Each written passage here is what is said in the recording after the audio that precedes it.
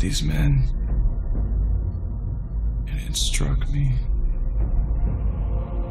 To each other, we are all that is left of Cadia.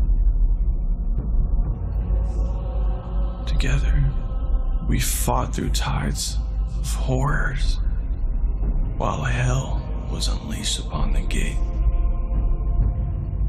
We shed alongside countless heroes while they gave their life to hold the despoiler's forces. We watched helplessly as our families died while our world burned. And now all we have left is retribution. And retribution